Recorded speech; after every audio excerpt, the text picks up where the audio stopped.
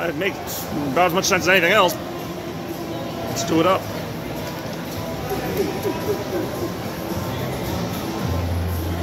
What did we even walk into? It's like kids stuff, but then shirts all in the same place. Korean. I know this is a Korean import store, which is cool. import store, so you have. And you're uh, wearing a Canada shirt we're very international. in the American Mall.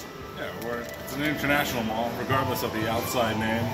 But one thing you can get here, some seaweed with a minion on it. You can make a nice minionette with this minion seaweed. That was good.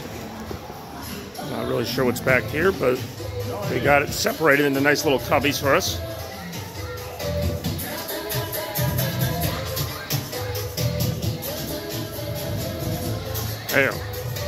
Made in Korea.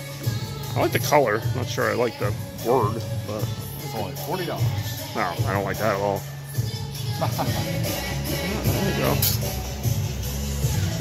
Well, Some of these aren't too bad. I think. I What? think they're all be medium.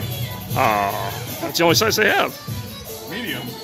Wait, you got a large here for me to try. out. I can see that. It's so that they give you time to think about it. I don't know if I want to keep it or not. Well, that's the biggest question of the day. Probably like a big no-no. Ah. That's a size large. Is it? Oh, you found you on found one. Pretty cool. Nice. All right, that's styling. Let's go with what you got.